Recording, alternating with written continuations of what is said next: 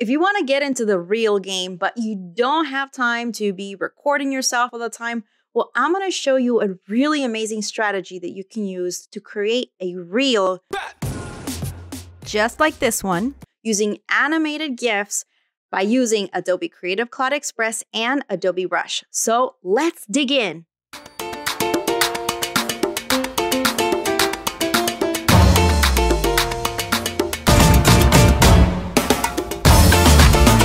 Maximize your productivity, you want to create a template that allows you to have some content for your reel, and then you'll go in and add your GIFs. So we're going to go click on this plus symbol here, and we see this drop down menu appear. I'm going to select Instagram story because essentially that's the same format size as a reel. And if you're new to this and you don't have any branded templates on Creative Cloud Express, you have all these great options here on the far left to choose from. You can select one of these templates and work your way to make it branded and customized to your needs. What I'm going to do is I'm actually going to make this branded to my company. So I click here on the background and I see this edit background appear and I have all these color options. So I'm just going to start with one color here. And then what I'm going to do is I'm going to start adding some of the layers and components to my brand. I can add my logo. So when I click here on the logos, I can add certain types of assets and logos that I have included in here. And then I can just start arranging my document. Now, to make this process even easier, you know, there are certain ways that the Instagram feed will crop your content. So, what I've done is I have an asset inside my libraries that is a really great go by for me. So, I created this little graphic here that gives me these dimensions. And so, anytime I am creating some of my content for Reels, I go and upload this so that I kind of know where my content is going to lay between the IG Reel news feed and then the actual feed itself. So I know this little square is what will people see on their actual feed. And then once they look through the reel feed, then they'll see more content and then the full view. This is a really great way for me to make sure that nothing's going to get cropped off. That's essential. Okay, so what I've done now is I've arranged my template in a certain ways. What I did was that I use between icons that you can go here on the far left and find your icons or my patterns, which I uploaded as an asset from my libraries. So that way I have everything in one place and I'm not spending hours trying to find my content. And then you can go in and have some text, your placeholder text, because this is what you're going to use to create a template. And then anytime that you're going to go and add a new GIF or a new reel with a GIF, this is where you go and select and you update your copy. What I've done to make this even more interesting is that I actually added some animation element. So you click here on the far right and I added some typewriter animation so that it animates the text a little bit better.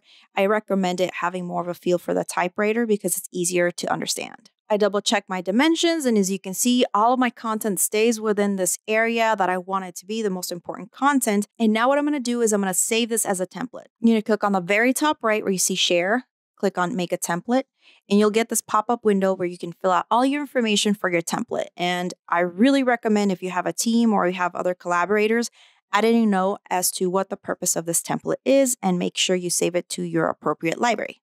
Now comes the fun part. You want to add your animated videos and convert them to a GIF, right? So all you need to do is just go to your home page on the desktop app and click on convert to GIF. It's going to give you a pop up window where you're going to upload the image or the video that you want to create a GIF for, and you just browse your device and upload that.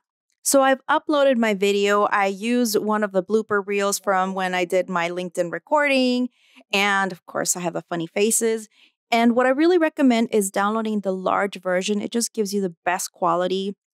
And you can select what type of dimensions and sizes that you want for these animated GIFs. And then all you do is click on download, and now you can start using these. You can upload to Giphy or wherever you want to use these for.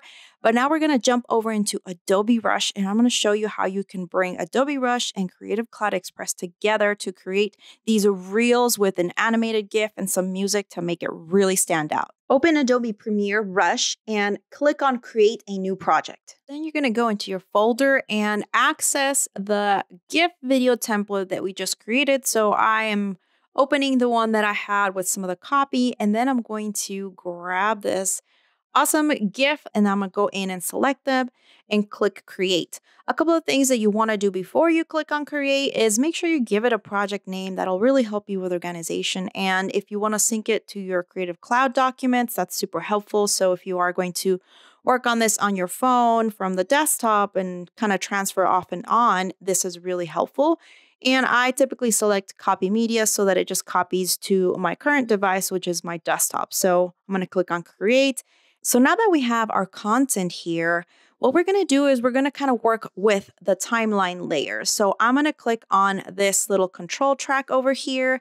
And what I'm going to do is I'm going to drag the video that we have, the video GIF, and I can kind of just scrub over here, you kind of see how it's moving. So all I need to do now is select my little GIF. So I want to make sure that it's selected and I'm going to make it smaller. So that way it kind of just fits within these dimensions. As you can see here, my little animated GIF doesn't extend all the way to the end. So you can try and see if you can extend it as long as you can, but if you didn't have such a long video, it's only going to extend to the length of your video. So mine was three seconds.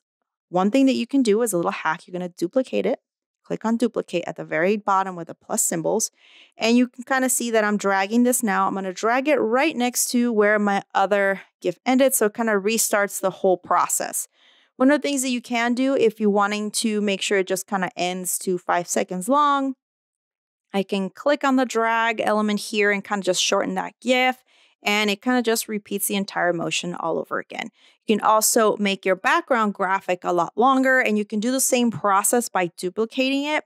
Now, if you do create it where I have this animated text and you just want to keep the background area where you're kind of keeping the static text, I don't recommend re-repeating the animated text. It's just a little too much visually. So you can duplicate this and go over to where you actually have your entire text showing up and I have my at mention over here, and I can just either drag to crop it to that little section so that it just replays that section. Or you can click on the scissor tool, which will allow you to split your clips very easily. Now, I want to add some music. So you can get really creative. You can do a voiceover. So if you want to do a voiceover, you can click on this recording icon and it'll pull up your microphone and it'll give you a prompt three, two, one, and you can start recording. But for this one, I want to add some music. So what I'm going to do is I'm going to click on the plus symbol here. I'm going to click on audio. They have a ton of audio, soundtracks, sound effects, loops. So these are all the different types of audios that you can use. So I went into the soundtracks and I wanted to have a reggaeton, of course, Latina. I wanted to add some rhythm to my content. So I have this really great free asset that you can use with Creative Cloud Express, when you actually have Creative Cloud Express, Adobe Rush is included in your subscription. So this is a huge benefit. And if you have Creative Cloud, you also get this included anyways.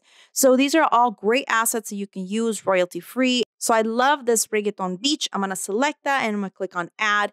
And now it adds it to my timeline. One of the things that I wanna encourage you to try to do is anytime you're adding sound or music, try to align the beats of your music to your movement or your type. This will create more of a synchronicity and it'll just really emphasize your reels and it'll make them stand out even more. So, how you want to do this is select your music timeline or your just sound that you're adding. You can go into this expand audio format so you'll kind of see these nice waves and as they start to peak up.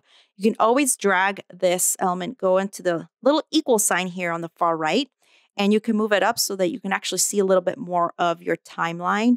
And what you can do is go and try to sync some of these beats as they kind of go down and up. That means you're going to hear a boom, especially with the music. Eh, con reggaeton, you kind of hear the tune, tune, you know, type music. So as you kind of hear these beats go up, I can try and sync this with the way that my hands are going. And in this little uh, GIF that I have, there's moments where I am clapping. So I can try to adjust my music to align with these beats. This will create a better experience for your audience. Now, one of the things that will be really helpful is let's say you want to have your music ramp up. You can click on the very far right under your audio you can select auto volume, and that'll really help. Auto Duck also helps if you have a voice overlay. So if you want to do another element where you're doing a voice overlay, which I've done for some of my reels, I literally read what I have on the text. Then what will happen is that it'll automatically duck your music down so that your voice is at the top. So, to recap, I showed you how you are going to start with a new project on Adobe Rush. You added your assets, which was your GIF, your animated GIF that you created inside Creative Cloud Express on the desktop. And we also added this template graphic that we created as a template. And then we actually created a specific graphic for this for our Reels content. We use the animated text feature inside Creative Cloud Express to make this more engaging. I added my at Nicte Creative Design so people knew where to find me. And then I used some of the free, royalty free music available inside Premiere Rush and added that to my timeline. I tried to adjust some of the beats to my content and I duplicated some of these GIFs so that I could repeat the process over and over, and it was a little longer than three seconds. And that is how you can create your own reels with a GIF using Creative Cloud Express and Adobe Rush. If this video was helpful for you, make sure that you subscribe to our channel and share this with your family and friends, and especially other business owners who are wanting to level up their reel game but don't have all the time in the world to be recording themselves. This is going to be a game changer for them. Until next time.